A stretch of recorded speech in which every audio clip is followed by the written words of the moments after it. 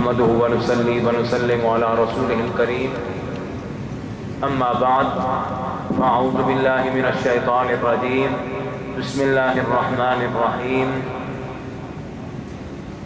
लक़द मन्नल्लाहु अलल मुमिनीन इज़ बअथ फ़ीहिम रसूला सदक़ल्लाहुल अज़ीम व बल्लगना रसूलुहुन नबियुल करीमुल अमीन क़ाल अल्लाहु अज़्ज़ व जल इन्नल्लाह व मलाइकतहु युसल्लूना अलन नबी।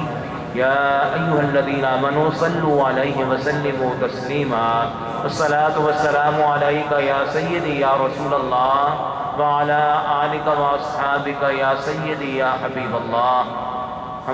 के बाद मेरे नहायत ही इहतराम, काबिल सत तहसीन, हमारे मुअज़्ज़ज़ मुहतरम मेहमान खसूसी हज़रत सैयद पीर मोहम्मद ज़ियाउल हक शाह साहब, दामद बरकत मुलालिया, मेरे दीगर मेहमाना गिरामी मशाइख, उलमाई हक, दामद बरकत अस्सलाम वालेकुम वरहमतुल्लाहि वबरकातुहू।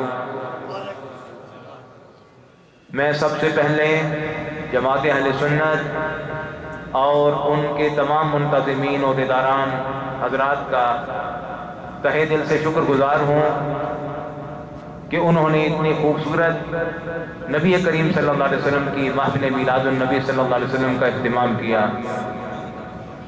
आप सब हजरात मुबारकबाद के मुस्तक हैं और खुश नसीब हैं, जो प्यारे आका सल्लल्लाहु अलैहि वसल्लम की महफिल पाक में शरीक हैं।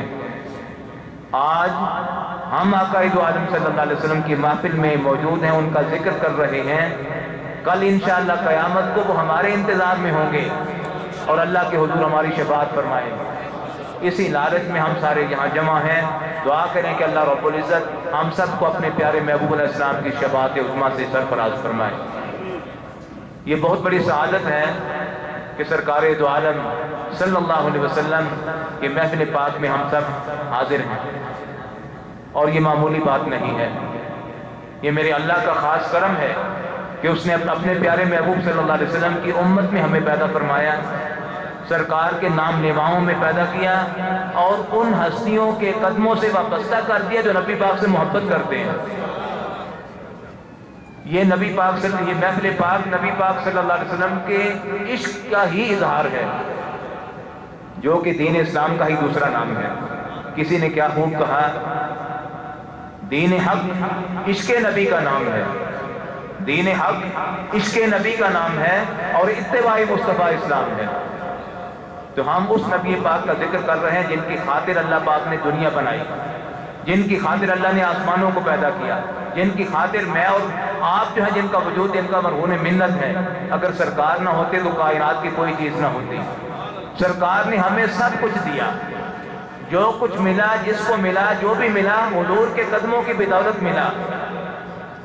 हमें कुरान मिला तो हजूर के सदके से।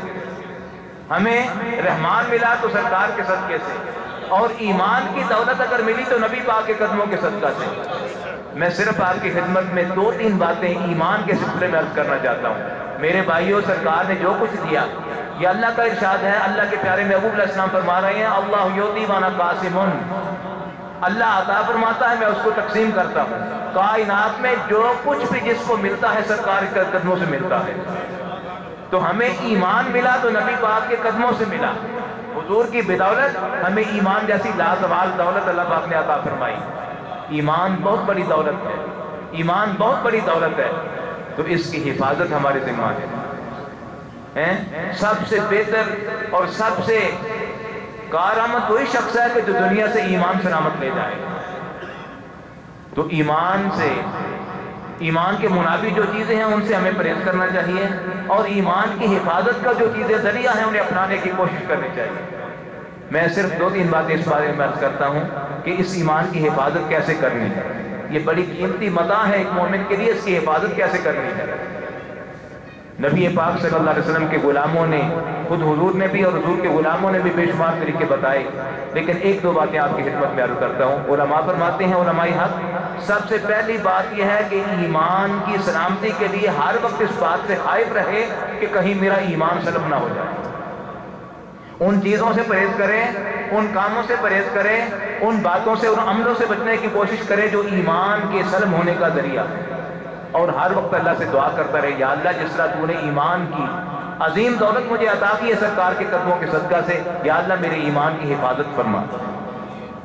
और वक्तन फवक्तन ये बात बड़ा करे, अल्हम्दुलिल्लाह अला नियमत इस्लाम। अल्हम्दुलिल्लाह अला नियमत इस्लाम।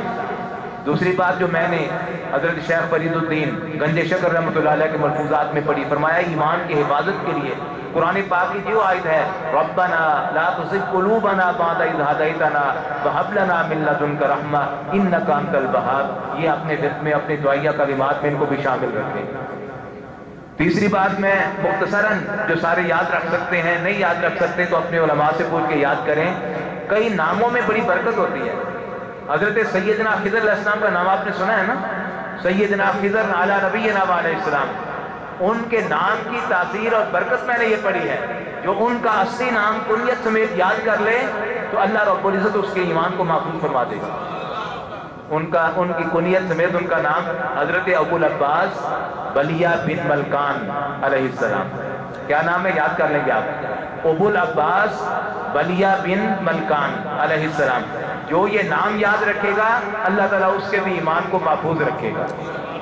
ये तफसील साली में मौजूद है, मैं अपनी तरफ़ से बात नहीं कह रहा। और फिर जो बंदा नबी पाक सल्लल्लाहु अलैहि वसल्लम के इश्को मोहब्बत में डूब के नबी पाक इस्लाम की अनवर पर दरूद पाक की पाबंदी करता है इंशाल्लाह उसका ईमान पे सलामत रहेगा। सलामती ईमान के साथ इस दुनिया से जाएगा। सरकारी तो आलम सल्लल्लाहु अलैहि वसल्लम ने इशाद फरमाया कि जो बंदा कलमा तैयबा का दिल करता है, कलमा तैयबा का दिल मैं बड़ी मुख्तसर सी और हर बंदे को याद रहने वाली बात आपको बता रहा हूँ, आखिरी बात है, इसको आपने पल्ले बाँध लेना है।